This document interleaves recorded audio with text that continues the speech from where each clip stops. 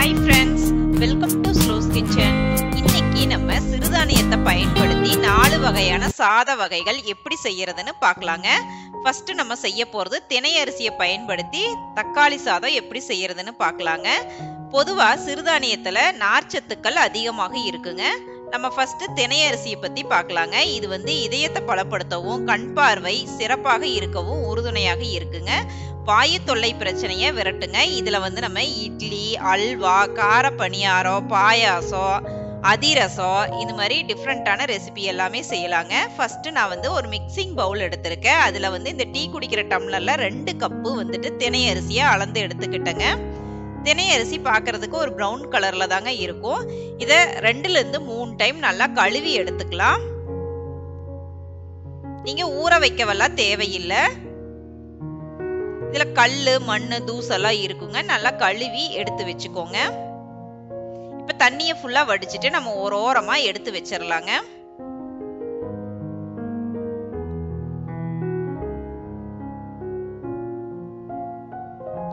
அடுத்ததா அடுப்பை பற்ற வச்சுட்டு குக்கரை அடுப்பில் வச்சுட்டு எண்ணெய் தேவையான அளவு சேர்த்திக்கோங்க. நீங்கள் சமையலுக்கு எந்த எண்ணெய் யூஸ் பண்ணுவீங்களோ அந்த எண்ணெயே எடுத்துக்கோங்க.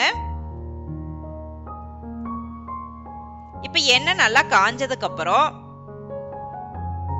கடுகு அரை ஸ்பூன் சேர்த்திக்கோங்க. கடுகு பொரிஞ்சு வந்ததுக்கு அப்புறம் கிராம்பு மூணு பட்டை ஒன்று சின்ன சைஸில் சேர்த்திருக்கேங்க. சோம்பு அரை ஸ்பூன். இது எல்லாமே நல்லா பொரிஞ்சு வந்ததுக்கு அப்புறம் சின்ன வெங்காயம் ஒரு கைப்பிடி அளவு எடுத்திருக்கேங்க. அதை கட் பண்ணிட்டு சேர்த்திக்கோங்க. உங்ககிட்ட சின்ன வெங்காயம் இல்லைன்னா பெரிய வெங்காயம் பொடியாக கட் பண்ணி சேர்த்திக்கோங்க.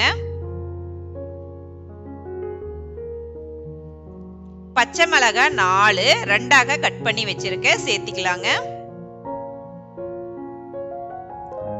கொஞ்சமா கருவேப்பில்லை.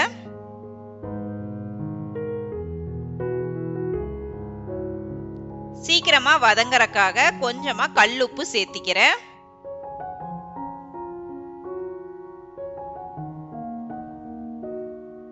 இப்போ இது எல்லாத்தையும் நல்லா வதக்கி எடுத்துக்கலாங்க. வெங்காயம் நல்லா கண்ணாடி பதம் வர வரையில வதக்கி எடுத்துக்கணும். அடுத்ததா இஞ்சி பூண்டு பேஸ்ட் ஒரு ஸ்பூன் சேர்த்திக்கிறேங்க. இப்போ இஞ்சி பூண்டு பேஸ்டோட பச்சை வாசனை போற வரையில நல்லா வதக்கி எடுத்துக்கலாங்க.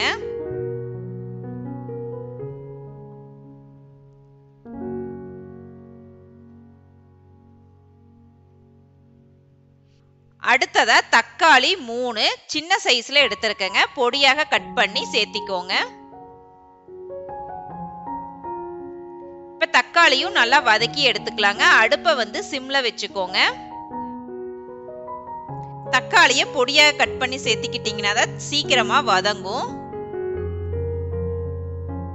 இப்போ இதை கொஞ்ச நேரம் நல்லா வேக வச்சுக்கலாங்க. அடுத்ததாக மசாலா பொருட்கள் சேர்த்திக்கலாம். மஞ்சத்தூள் கால் ஸ்பூன்.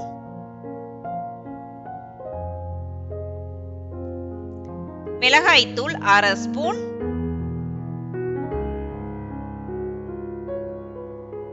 உங்களுக்கு காரம் அதிகமாக வேணும்னா சேர்த்தி ஆட் பண்ணிக்கோங்க.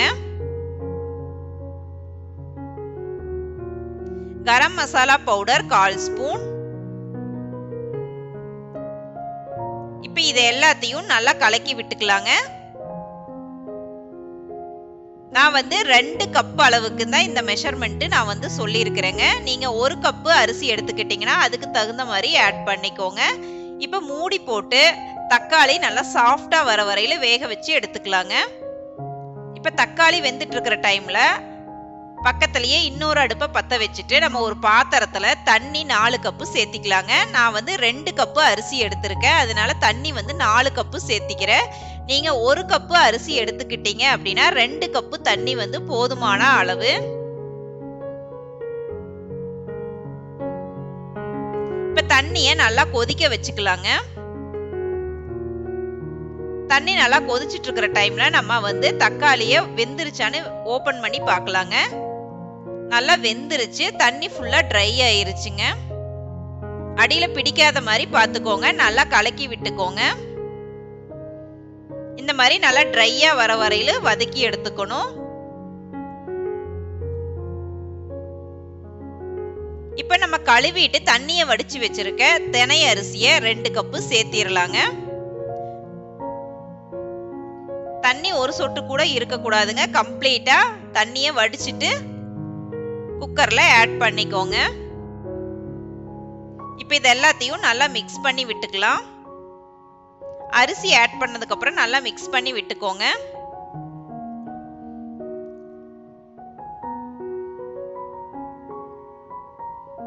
இப்போ தண்ணியும் நல்லா கொதிச்சு வந்துருச்சு. இந்த மாதிரி நல்லா கொதிக்க வச்சுக்கணும். இப்ப அடுப்பை ஆஃப் பண்ணிடலாங்க இப்ப கொதிக்க வச்ச தண்ணிய நம்ம குக்கர்ல சேர்த்திடலாங்க எதுக்காக நம்ம வந்து இப்படி கொதிக்க வச்சு தண்ணி ஆட் பண்ணிக்கிறோம் அப்படின்னா உங்களுக்கு சீக்கிரமா குக்கர்ல விசில் வந்துடும் சாதம். இப்ப அடுப்பை வந்து ஹை ஃப்ளேம்ல வச்சுக்கோங்க. டிஷ்ஷுக்கு தேவையான அளவு கல் உப்பு சேர்த்திக்கோங்க பொடியாக கட் பண்ணி வச்சிருக்க கொத்தமல்லி இலையை சேர்த்திக்கலாங்க. இப்போ இது எல்லாத்தையும் நல்லா கலக்கி விட்டுக்கோங்க. உப்பு காரமெல்லாம் செக் பண்ணிக்கோங்க. உங்களுக்கு குறைவாக இருந்தால் சேர்த்திக்கோங்க.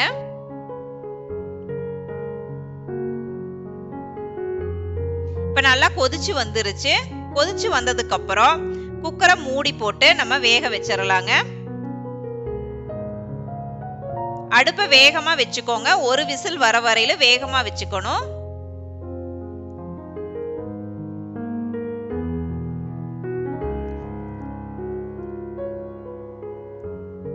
இப்போ ஒரு விசில் வந்துருச்சு.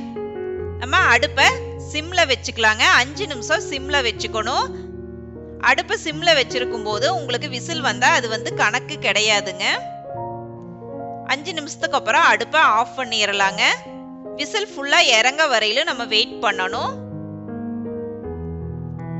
இப்போ நல்லா விசில் இறங்கிருச்சு ஓப்பன் பண்ணி பார்க்கலாங்க. இப்போ ஒரு கரண்டி வச்சு நல்லா கலக்கி விட்டுக்கலாங்க.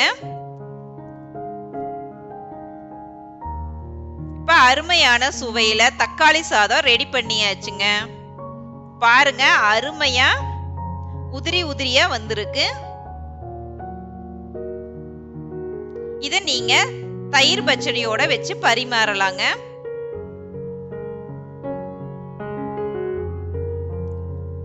அடுத்ததா வரகு அரிசி தேங்காய் சாதம் எப்படி செய்யறதுன்னு பார்க்கலாங்க. ஃபர்ஸ்ட் ஒரு மிக்சிங் பவுல் எடுத்துக்கலாம். அதுல வரகு அரிசி ரெண்டு கப்பு சேர்த்திக்கோங்க.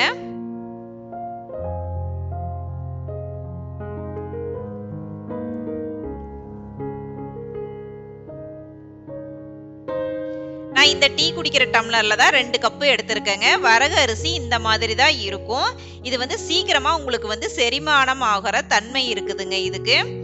சிறுநீரை பெருக்கி மலச்சிக்கலை போக்குங்க. உடல் பருமனை குறைக்கும். ரத்தத்தில் சர்க்கரையோட அளவை கட்டுப்படுத்தவும் உயர் ரத்த அழுத்தத்தை குறைக்கவும் தேவையற்ற நச்சுக்களை வெளியேற்றி ரத்த ஓட்டத்தை சீர் செய்யவும் உதவுதுங்க. இப்போ தேவையான அளவு தண்ணி சேர்த்திட்டு நல்லா கழுவி எடுத்துக்கலாங்க. நல்லா ரெண்டுலேருந்து மூணு டைம் நல்லா கழுவி எடுத்துக்கலாங்க. இதில் தூசெல்லாம் இருக்கும். நல்லா கழுவி எடுத்துட்டு தண்ணியை ஃபுல்லாக வடிச்சிட்டு ஒரு ஓரமாக எடுத்து வச்சுக்கலாங்க. நம்ம இந்த வரக அரிசியை பயன்படுத்தி புட்டு வெண்பொங்கல் காரப்பணியாரம் இட்லி புளியோதரை உப்மா இந்த மாதிரி விதவிதமாக செய்யலாங்க. இப்போ அடுப்பை பற்ற வச்சுட்டு குக்கரை அடுப்பில் வச்சுட்டு இந்த டம்ளரில் நாலு கப் அளவுக்கு தண்ணி சேர்த்திக்கலாங்க. நீங்கள் ஒரு கப்பு அரிசி எடுத்துக்கிட்டிங்கன்னா ரெண்டு கப்பு மட்டும் தண்ணி சேர்த்திக்கோங்க.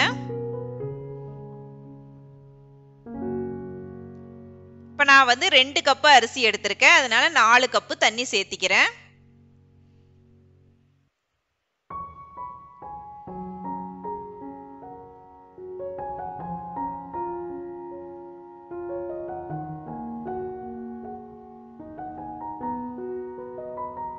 இப்போ தண்ணியை நல்லா கொதிக்க வச்சுக்கலாங்க.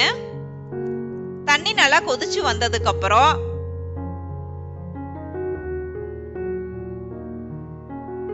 நம்ம கழுவிட்டு தண்ணிய வடிச்சு வச்சிருக்க வரகு அரிசிய சேர்த்திக்கலாங்க.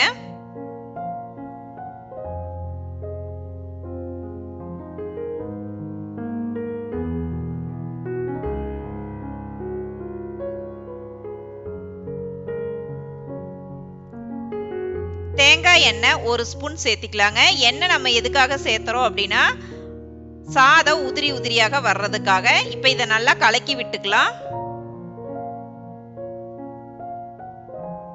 கொதி வந்ததுக்கு அப்புறம் குக்கரை மூடி போட்டு வேக வச்சிடலாங்க ஒரு விசில் வந்து ஹை ஃப்ளேம்ல வச்சுக்கலாம்.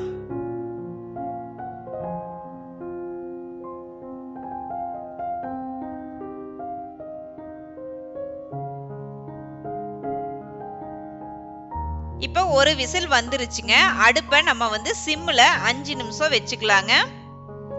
நீங்க சிம்ல வச்சிருக்கும் போது விசில் வந்தா அது உங்களுக்கு கணக்கு கிடையாது. அஞ்சு நிமிஷத்துக்கு அப்புறம் நீங்க அடுப்பை ஆஃப் பண்ணிடலாங்க விசில் ஃபுல்லா இறங்க வரையில வெயிட் பண்ணணுங்க.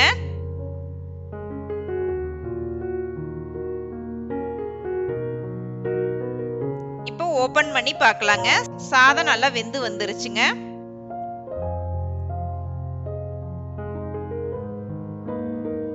இப்போ இதை கரண்டி வச்சு நல்லா கலக்கி விட்டுக்கலாங்க.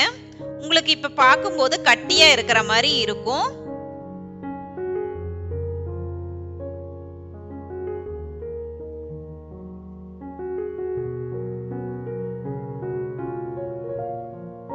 உங்களுக்கு ஆறும் போது சரியாயிருங்க உதிரி உதிரியா வந்துடும் இப்போ ரெண்டு ஸ்பூன் தேங்காய் எண்ணெய் சேர்த்திக்கலாங்க. தேங்காய் எண்ணெய் சேர்த்துனதுக்கு அப்புறம் சாதத்தை ஆற வைக்கிறதுக்காக ஒரு ஓரமாக வச்சிடலாங்க இப்போ இதை ஒரு ஓரமாக வச்சுட்டு அடுப்பு பற்ற வச்சுட்டு ஒரு கடாயை அடுப்பில் வச்சுட்டு தேங்காய் எண்ணெய் சேர்த்திக்கோங்க. தேங்காய் எண்ணெய் தான் தேங்காய் சாதத்துக்கும் அருமையாக இருக்குங்க. உங்களுக்கு எவ்வளவு வேணுமோ அந்த அளவுக்கு எண்ணெய் சேர்த்திக்கோங்க. எண்ணெய் நல்லா காஞ்சதுக்கு அப்புறம் கடுகு அரை ஸ்பூன் சேர்த்திக்கோங்க. கடுகு பொரிஞ்சு வந்ததுக்கு அப்புறம் கடலைப்பருப்பு ஒரு ஸ்பூன் உளுத்தம்பருப்பு ஒரு ஸ்பூன் பச்சை மிளகாய் நாலு காஞ்ச மிளகாய் நாலு விதைய நீக்கிட்டு கட் பண்ணி சேர்த்திக்கோங்க. வறுத்த வேர்க்கடலை தோலை நீக்கிட்டு ஒரு கைப்பிடி அளவு சேர்த்திக்கோங்க. முந்திரி ரெண்டு ஸ்பூன் சேர்த்திக்கோங்க. கருவேப்பிலை கொஞ்சம்.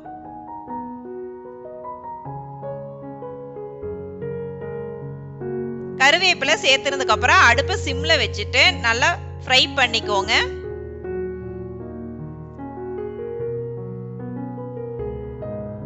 கலர் சேஞ்ச் ஆகாம பார்த்துக்கோங்க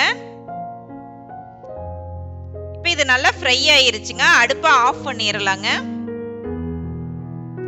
அடுப்பை ஆஃப் பண்ணதுக்கு அப்புறம் நம்ம அரிசி அளந்தெடுத்த அதே டீ டம்ளர்ல துருவின தேங்காய் ஒரு கப்பு சேர்த்திக்கலாங்க.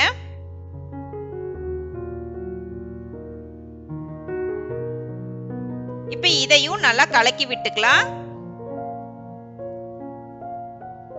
நம்ம அடுப்பு ஆஃப் பண்ணிட்டு இப்ப வச்சிருக்கோம் இல்லைங்களா? அந்த சூடே வந்து போதுமான அளவு. அப்படியே நீங்க வந்து ஃப்ரை பண்ணிக்கலாங்க.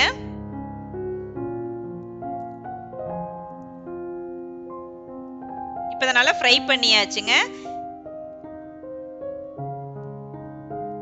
அடுத்ததா நம்ம உதிரியாக வடிச்சு வச்சிருக்க வரகு அரிசி சாதத்தை ஆட் பண்ணிக்கலாங்க. தேவையான அளவு உப்பு சேர்த்திக்கோங்க.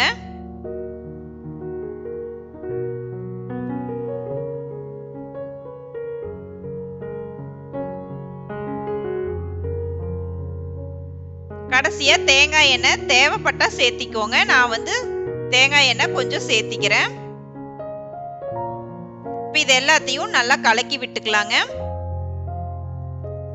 உப்பு செக் பண்ணிக்கோங்க. உங்களுக்கு குறைவாக இருந்தா சேர்த்திக்கோங்க.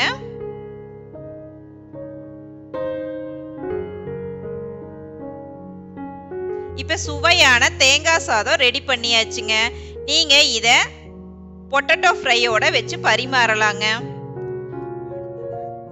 அடுத்ததா சாமை அரிசி எலுமிச்சை சாதம் எப்படி செய்யறதுன்னு பார்க்கலாங்க.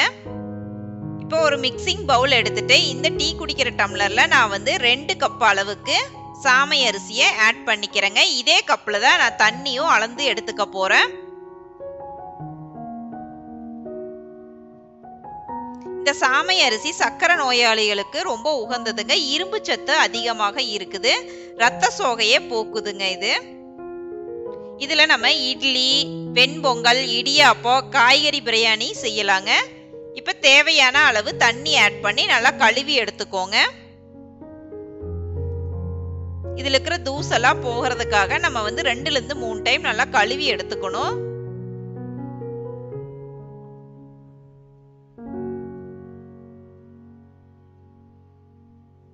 தண்ணியை வடிச்சிட்டு ஒரு ஓரமாக வச்சிடலாங்க இப்போ அடுத்ததாக அடுப்பு பற்ற வச்சுட்டு குக்கரை அடுப்பில் வச்சுட்டு தண்ணி ஆட் பண்ணிக்கலாங்க. நம்ம அரிசியை அளந்து எடுத்த அதே டம்ளரில் தண்ணி சேர்த்திக்கலாங்க. நான் வந்து ரெண்டு கப்பு அரிசி எடுத்திருக்கேன். அதனால வந்துட்டு நாலு கப்பு தண்ணி சேர்த்திக்கிறேன். நீங்கள் ஒரு கப்பு எடுத்துக்கிட்டீங்க அப்படின்னா ரெண்டு கப்பு தண்ணி போதுமான அளவு. தண்ணியை நல்லா கொதிக்க வச்சுக்கலாங்க. தண்ணி நல்லா கொதிச்சு வந்துருச்சு. இந்த ஸ்டேஜ்ல நம்ம கழுவிட்டு தண்ணியை ஃபுல்லா வடிச்சு வச்சிருக்க சாமை அரிசியை ஆட் பண்ணிக்கலாம்.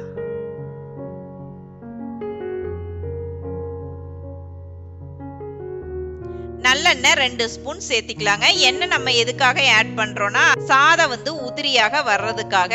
இப்போ இதை நல்லா கலக்கி விட்டுக்கலாங்க.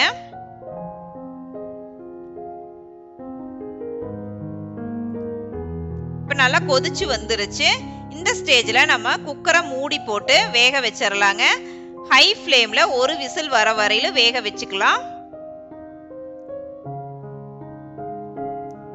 இப்போ ஒரு விசில் வந்துருச்சுங்க. அடுப்பை சிம்மில் வச்சுக்கலாங்க. அஞ்சு நிமிஷம் வச்சுக்கணும். உங்களுக்கு சிம்மில் வச்சுருக்கும் போது விசில் வந்தால் அது கணக்கு கிடையாதுங்க. அஞ்சு நிமிஷத்துக்கு அப்புறம் நம்ம அடுப்பை ஆஃப் பண்ணிடலாங்க விசில் ஃபுல்லாக இறங்க வரையிலும் நம்ம வெயிட் பண்ணணும். விசில் இறங்கிட்டு இருக்கிற டைமில் நம்ம வந்துட்டு ஒரு மிக்சிங் பவுல் எடுத்துட்டு எலுமிச்சை ரெண்டு எடுத்துருக்கேங்க மீடியம் சைஸில் நான் வந்து ரெண்டு கப்பு அரிசி எடுத்துருக்கிறதுனால ரெண்டு எலுமிச்சை எடுத்திருக்கேன். நீங்கள் ஒரு கப்பு அரிசி எடுத்துக்கிட்டீங்க அப்படின்னா ஒரு எலுமிச்சை போதுமான அளவு. இப்போ இதை வந்துட்டு ரெண்டாக கட் பண்ணிட்டு நம்ம ஜூஸ் பிழிஞ்சு எடுத்துக்கலாங்க. இதில் இருக்கிற விதை எல்லாத்தையும் ஸ்பூன் வச்சு எடுத்துக்கோங்க. நீங்கள் விதையும் சாதத்தில் ஆட் பண்ணீங்க அப்படின்னா சாதம் வந்து கசப்பாயிரும். இப்போ விதையெல்லாம் எடுத்ததுக்கப்புறம் மஞ்சத்தூள் அரை ஸ்பூன் தேவையான அளவு உப்பு.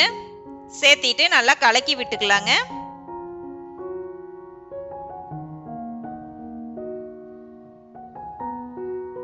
விசில் ஃபுல்லாக இறங்கிருச்சுங்க. குக்கரை ஓப்பன் பண்ணி பார்க்கலாங்க.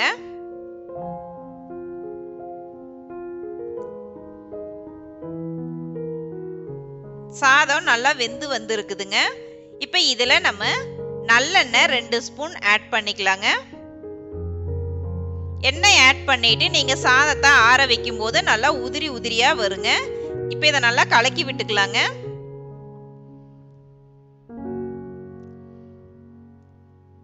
கலக்குனதுக்கப்புறம் அப்புறம் ஒரு ஓரமாக வச்சுட்டு நம்ம தாளிச்சுக்க போகிறோங்க அதுக்கு அடுப்பை பற்ற வச்சுட்டு ஒரு கடாயை அடுப்பில் வச்சுட்டு நல்லெண்ணெய் உங்களுக்கு தேவையான அளவு சேர்த்திக்கோங்க.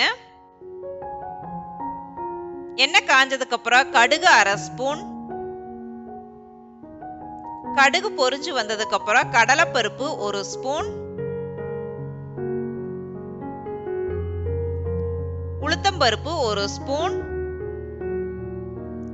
வேர்க்கடலை ஒரு கைப்பிடி அளவுங்க. நீங்க வறுத்ததாகவும் ஆட் பண்ணிக்கலாம் வறுக்காததும் ஆட் பண்ணிக்கலாம். முந்திரி பருப்பு ரெண்டு ஸ்பூன்.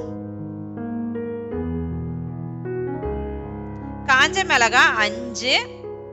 பச்சை மிளகா அஞ்சு. உங்களுக்கு காரம் அதிகமாக வேணும்னா சேர்த்து ஆட் பண்ணிக்கோங்க. அடுத்ததாக பூண்டு பத்து பல்லு. தோலை நீக்கிட்டு நல்லா பொடியாக கட் பண்ணி சேர்த்திக்கோங்க. இப்போ அடுப்பை சிம்மில் வச்சுட்டு நல்லா ஃப்ரை பண்ணிக்கலாங்க.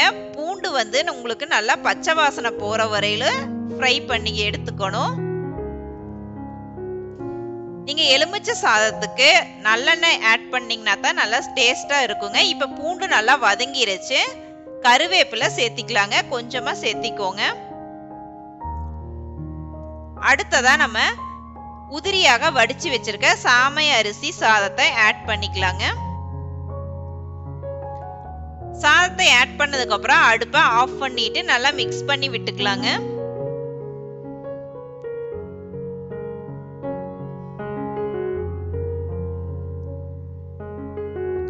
அடுத்ததா நம்ம ஒரு மிக்சிங் பவுல்ல எலுமிச்சை ஜூஸ் மஞ்சத்தூள் உப்பு போட்டு நல்லா கலக்கி வச்சோம் இல்லைங்களா? அதை வந்து சேர்த்திடலாங்க இப்போ இது எல்லாத்தையும் நல்லா கலக்கி விட்டுக்கலாங்க. உப்பு செக் பண்ணிக்கோங்க. உங்களுக்கு குறைவாக இருந்தா சேர்த்திக்கோங்க.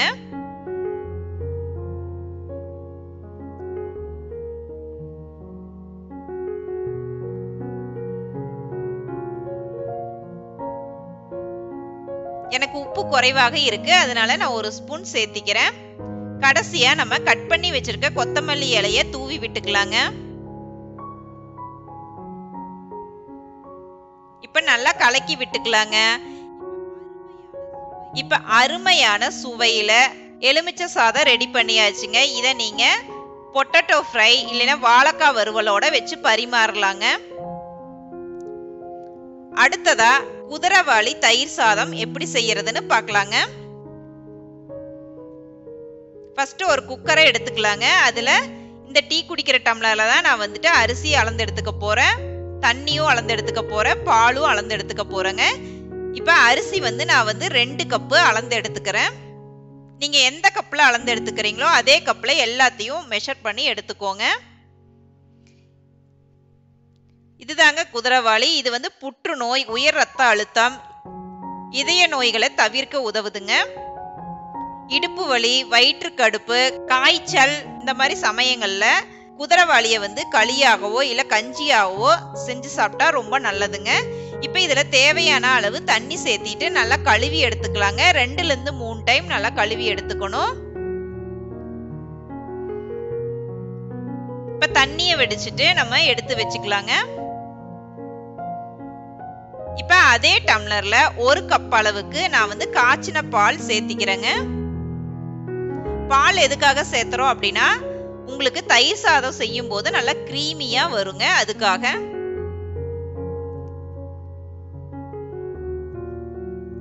ஒரு கப்பு நான் காய்ச்சின பால் ஆட் பண்ணியிருக்கேன். தண்ணி வந்து ஏழு கப்பு சேர்த்திக்கிறேங்க. மொத்தமாக எட்டு கப் அளவுக்கு தண்ணி சேர்த்திக்கணும். நீங்கள் ஒரு கப்பு அரிசி எடுத்துக்கிட்டீங்க அப்படின்னா ஒரு கப்பு காய்ச்சின பாலும் தண்ணி மூணு கப்பு சேர்த்துனீங்கன்னா போதுமான அளவு. இப்போ கொஞ்சமாக கல்லுப்பு சேர்த்திக்கலாங்க. இப்போ இதை கரண்டி வச்சு நல்லா மிக்ஸ் பண்ணி விட்டுக்கலாங்க.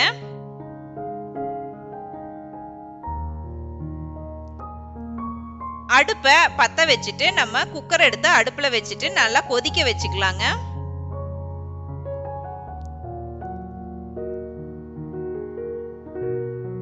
இப்போ நல்லா கொதிச்சு வந்துருச்சு. இப்போ குக்கரை மூடி போட்டு நாலுலேருந்து அஞ்சு விசில் வர வரையில் வேக வச்சுக்கலாங்க. அடுப்பை மீடியம் ஃப்ளேமில் வச்சுக்கோங்க.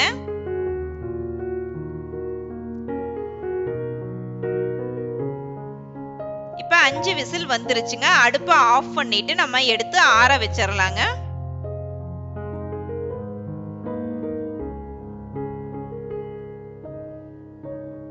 நல்ல விசில் ஃபுல்லா இறங்குனதுக்கு அப்புறம் ஓபன் பண்ணி பார்க்கலாங்க.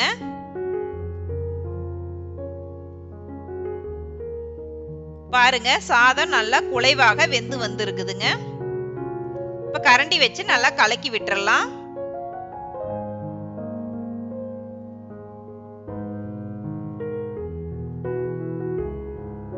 எப்பவுமே நம்ம தயிர் சாதம் செய்யும் போது தண்ணி அதிகமா சேர்த்தி வேக வைக்கணும். அப்பதான் நல்லா குலைவாக வரும். இப்ப இதுல காய்ச்சின பால் ஒரு கப்பு சேர்த்திட்டு நல்லா கலக்கி விட்டுக்கலாங்க. நம்ம தயிர் ஆட் பண்றதுக்கு முன்னால சாதம் வந்து நல்லா ஆறி இருக்கணும். சூடாக நீங்க வந்து தயிர் ஆட் பண்ணக்கூடாது. அடுத்ததா அடுப்பை பற்ற வச்சுட்டு ஒரு கடாயை அடுப்புல வச்சுட்டு எண்ணெய் தேவையான அளவு சேர்த்திக்கோங்க. எண்ணெய் நல்லா காஞ்சதுக்கு அப்புறம் கடுகு அரை ஸ்பூன். கடுகு பொரிஞ்சு வந்ததுக்கு அப்புறம் கடலை பருப்பு ஒரு ஸ்பூன்.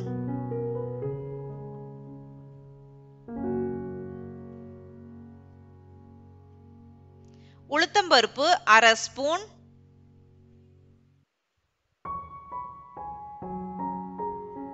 சீரகம் அரை ஸ்பூன். பச்சை மிளகாய் அஞ்சு காஞ்ச மிளகாய் நாலு விதைய நீக்கிட்டு இந்த மாதிரி பச்சை மிளகாய கட் பண்ணி ஆட் பண்ணிக்கோங்க.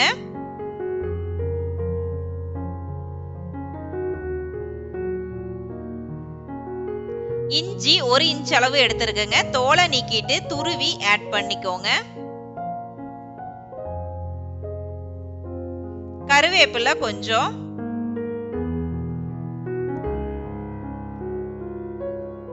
கருவேப்பிலை சேர்த்துனதுக்கு அப்புறம் அடுப்பை சிம்ல வச்சுட்டு நல்லா ஃப்ரை பண்ணிக்கோங்க.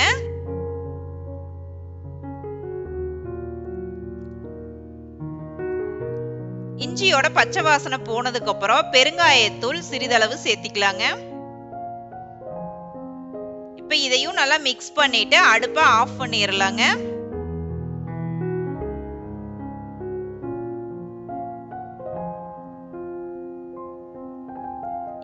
தாளிச்ச பொருட்கள் எல்லாத்தையுமே நம்ம குக்கர்ல சேர்த்திக்கலாங்க.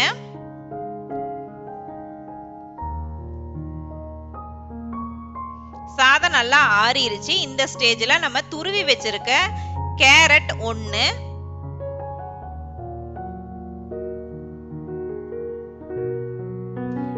வெள்ளரிக்காய் அரை சைஸ் எடுத்திருக்கேங்க. தோலை நீக்கிட்டு நல்லா இந்த மாதிரி சின்ன சின்னதாக கட் பண்ணி சேர்த்திக்கோங்க. உங்ககிட்ட மாதுளம்பழம் இருந்தா மாதுளம்பழம் விதைகளும் சேர்த்திக்கலாங்க.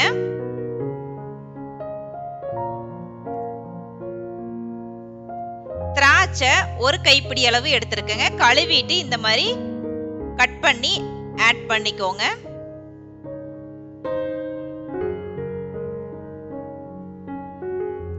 பொடியாக கட் பண்ணி வச்சிருக்க கொத்தமல்லி இலையை ஆட் பண்ணிக்கலாங்க.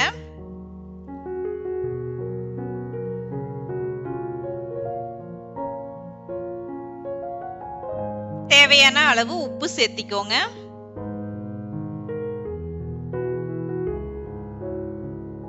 இப்ப காய்ச்சின பால் ஒரு கப்பு சேர்த்திக்கலாங்க. அதை நம்ம ஆல்ரெடி தாளிச்சோம் இல்லைங்களா? அதே வானலியில ஆட் பண்ணிட்டு அலசி ஊத்திக்கோங்க.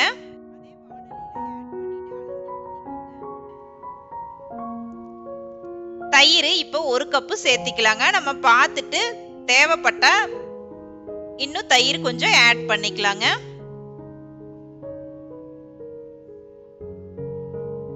இப்போ இது எல்லாத்தையும் நல்லா கலக்கி விட்டுக்கலாங்க. நீங்கள் லஞ்ச் பாக்ஸுக்கு தயிர் சாதம் எடுத்துகிட்டு போகும்போது தயிர் குறைவாகவும் பால் அதிகமாகவும் சேர்த்து ஆட் பண்ணிக்கோங்க. அப்போ தான் மதியத்துக்கு உங்களுக்கு வந்து தயிர் சாதம் புளிக்காம இருக்கும். இப்போ எனக்கு வந்து தயிர் வந்து குறைவாக இருக்குது நான் வந்து உடனடியாக சாப்பிட்றதுனால நான் வந்து தயிர் வந்து அதிகமாக சேர்த்திக்கிறேன். தயிர் வந்து நான் இப்போ வந்து ரெண்டு கப்பு சேர்த்திக்கிறேங்க. இப்போ இதை நல்லா மிக்ஸ் பண்ணி விட்டுக்கலாம்.